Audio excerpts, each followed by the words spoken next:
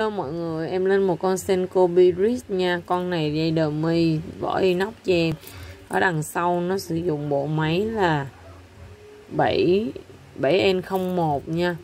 Con này xịn sò lắm nha, dây đờ mi cho em. Rồi em bán con này với giá 320 ngàn thôi, rất là đẹp luôn. Đó, một con 320 ngàn đã có một em Senko chính hãng Biris Và chuẩn giờ cho em kim cọc là vàng nha mọi người. Đó Mua hàng inbox hoặc gọi điện thoại cho bên em nha. Thời gian chiếc đơn của bên em là từ 12 giờ trưa cho đến tối muộn nha mọi người ơi. Xịn sò con bò lắm nha mọi người à.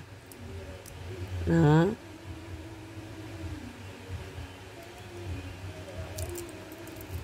Bây giờ xin cô còn có rẻ chứ ngày xưa nó không rẻ đâu mọi người ạ. À dán tên vuông vuông vừa chứ không bự cũng không nhỏ.